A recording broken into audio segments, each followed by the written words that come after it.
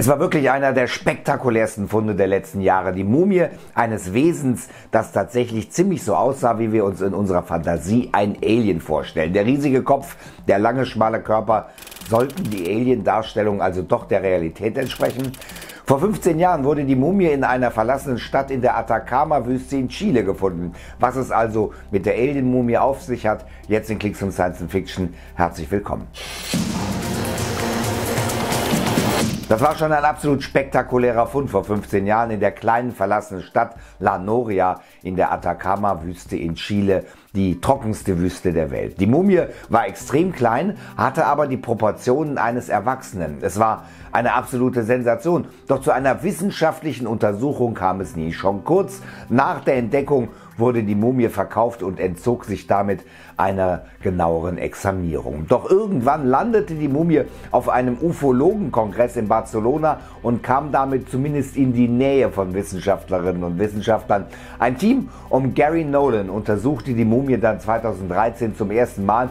Vor fünf Jahren begann er dann die DNA-Sequenzierung und das Ergebnis war dann einerseits erwartet, aber auch ein bisschen seltsam. Das Erbgut war zu 91 Prozent menschlich, der Rest war durch die Verwesung zerstört worden und überrascht war das Forschungsteam vom Zustand der Knochen. Demnach lebte dieses Kind nämlich und wurde sogar sechs oder sieben Jahre alt. Ja, sehr seltsam. Jetzt hat das Forschungsteam seinen Abschlussbericht vorgelegt und muss sich korrigieren.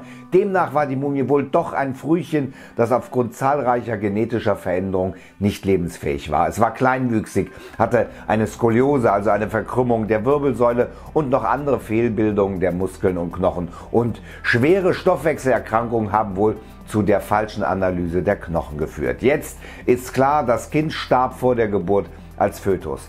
Dass diese Erkenntnisse jetzt alle so gut erzielt werden konnten, lag vor allem am Fundort. In der trockensten Wüste der Welt wurde die Leiche besonders gut konserviert. Wenn ihr als erstes Neues zu solchen Themen erfahren wollt, dann addet meine Telefonnummer bei WhatsApp. Dann erfahrt ihr von mir vor allen anderen vom neuesten Video garantiert. Ihr könnt dort direkt über mich in der Redaktion von Klicks und mitmachen und mir Themen vorschlagen oder an Abstimmungen teilnehmen und mitbestimmen, was hier bei Klicks und passiert. Der direkte Draht zu mir. Einfach hier draufklicken und natürlich nicht das Abo mit der genau Glocke vergessen. Hier geht es weiter mit, dafür auch draufklicken, Aliens können wir sie leichter finden. Ansonsten, bis dann. Bleibt dran.